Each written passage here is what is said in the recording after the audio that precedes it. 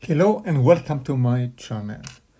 Today in this video I'm gonna show you how to fix when the personal hotspot is not appearing or when you get this annoying message.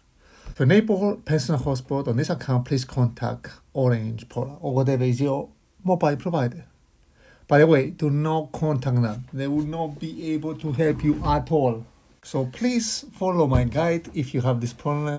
First, let's go to APN settings and make sure you have three lined up settings here. Right? If you don't have all these, then make sure that you have uh, paid your provider or you have at least top up your account and you have uh, some data in your account. If you don't have, maybe you don't see all of them. So if you see all of them, then go and type here network. You don't need to put any username and password. This will solve the problem of this set up a personal hotspot if it's not appearing. Once you put there, it will be appear, but you're gonna get this annoying message.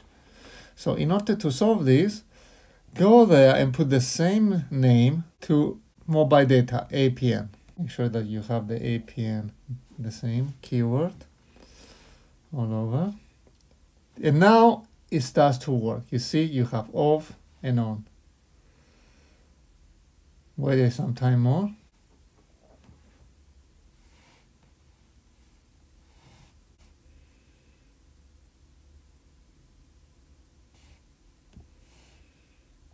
Okay, I can put here network too.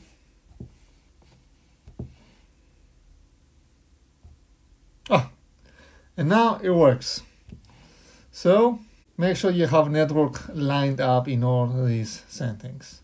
You go to personal network, you click, click this, and it starts to work.